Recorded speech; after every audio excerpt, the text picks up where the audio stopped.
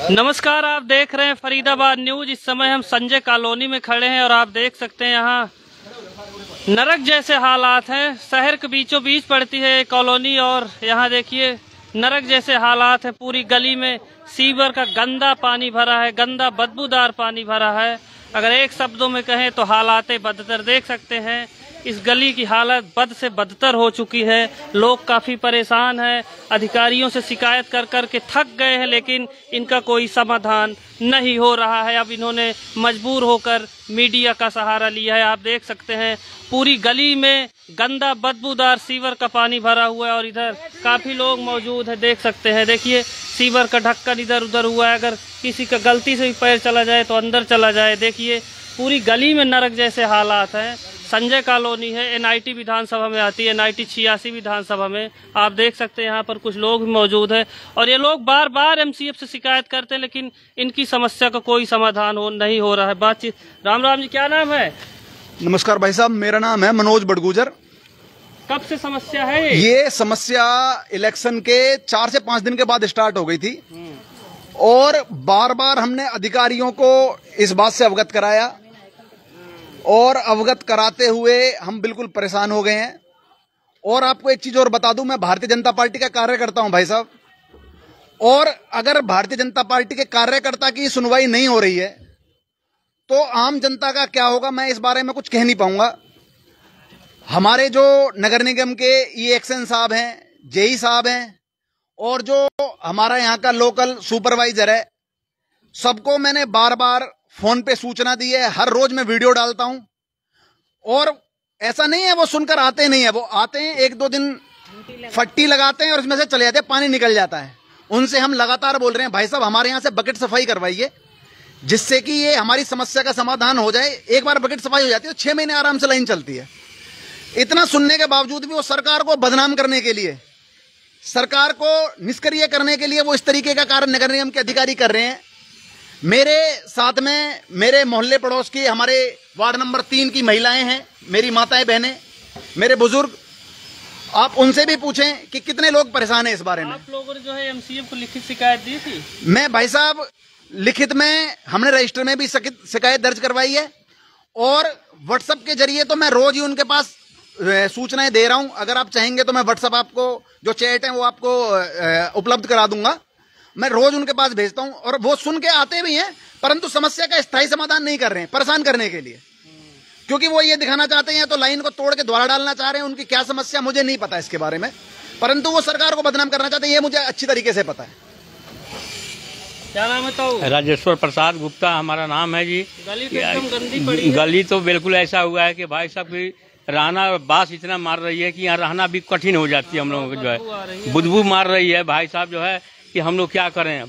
जितने हमारे छोटे छोटे बच्चे जाते हैं स्कूल जाते हैं गिर जाते हैं इसमें पानी में इस समस्या का कोई हल नहीं हो रही है जो है। इसके लिए मैं यही कहूँगा कि इसको संविधान को पूरा किया जाए। क्या नाम बताओ। मेरा नाम ऋषिपाल सिंह है। कैसे रहते हैं? गली एकदम बदबू आ रही है। बदबू क्या? अगर बारिश की चार बूंद भी डल जाए ना तो भी इसमें से लाइन में से जब पानी उबलता है निकलता है तो सांस भी नहीं ली जाती है। और इतनी बदबू आती है दूसरी बात है कि बुज़ुर्ग आदमी निकल नहीं सकते यहाँ से किसी प्रकार दोनों तरफ़ पानी भर जाता होगा। पानी इतना बढ़ता है कि कम से कम घुटनों से भी ज़्यादा बढ़ जाता है। और सीवर के ढक्कन भी खुले हुए हैं। सीवर के ढक्कन भी खुले गए हैं। पानी की भी समस्या है यहाँ इतना खारा पानी मिलता है जिसकी कोई हद नहीं है। आप लोग देख सकते हैं यहाँ पर तमाम समस्याएँ हैं और कुछ महिलाएँ भी इनसे क्या नाम है? आंटी? कैसे रहते हैं यहाँ तो? यहाँ रहते हैं हमारे तो तीन सौ नौ गली में निबक लेटरिन लेकर रही है। अगर विधायकन को घर हो यहाँ तो उनकी भी पता लगेगी कहाँ कैसे बढ़िया रह रहे हैं हम। इतनी अच्छी जगह पे कोरा पानी वानी वहाँ तो वहाँ तक लेटरिन लेकर रही है। भैया अब क्या करे? मजबूरी में रहना पड़ रहा हमें तो। नगर निगम में शिकायत नहीं की? नगर निगम बारे कोई सुने ना कोई पार्षद सुने ना। कोई ना सुने। हाँ विधायक हमें वह फंटी न लेकर भेज दे। वह फंटान तो कुछ भी हुए ना है।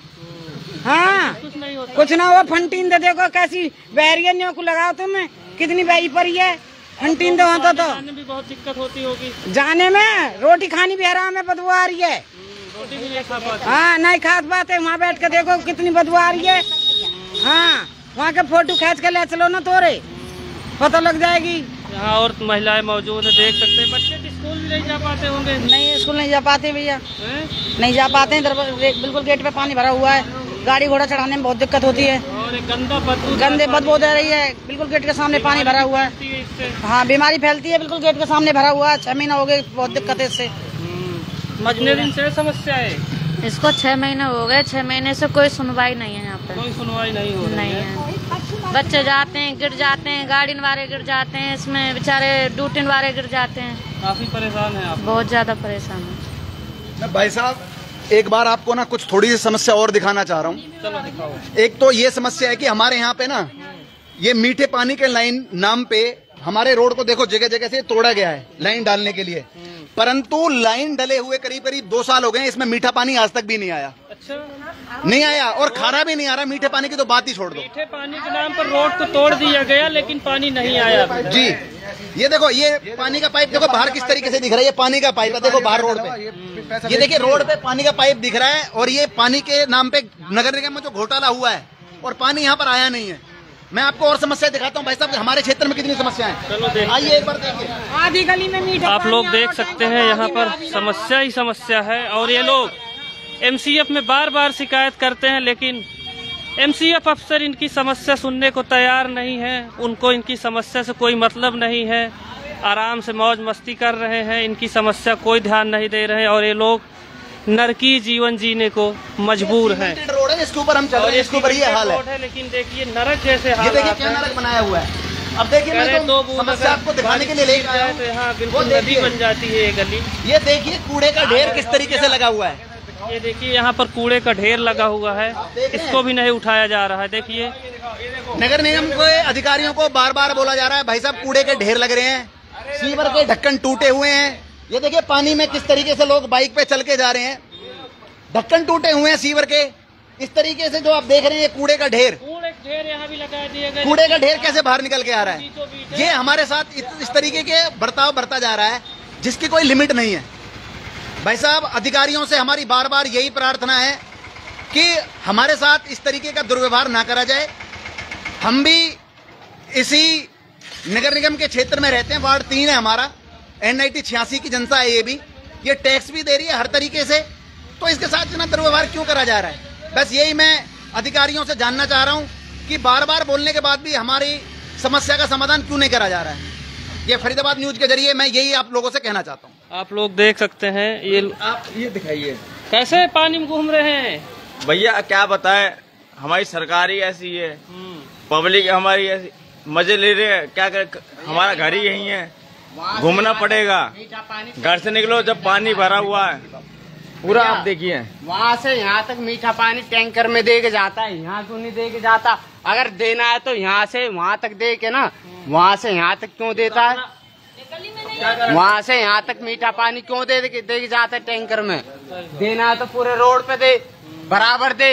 ये थोड़ी आधा अधूरा छोड़ के वहाँ से यहाँ तक हम सोचे कि कौन पानी कल- कल ले आता है टैंकर? मीठा पानी मीठे पानी का टैंकर पहले भी चलता था आज भी चल रहा है पर आधे रोड पे देख जाता है आधे रोड पे देख नहीं जाता। बात ये है। देना तो सबको दे नहीं देना तो किसी को मत दे। आज फ्री नहीं आ रहा।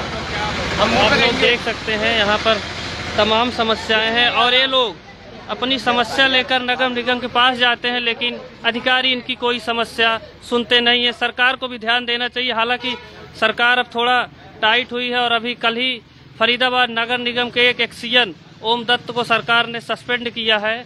आप देख सकते हैं सरकार को भी देखना चाहिए।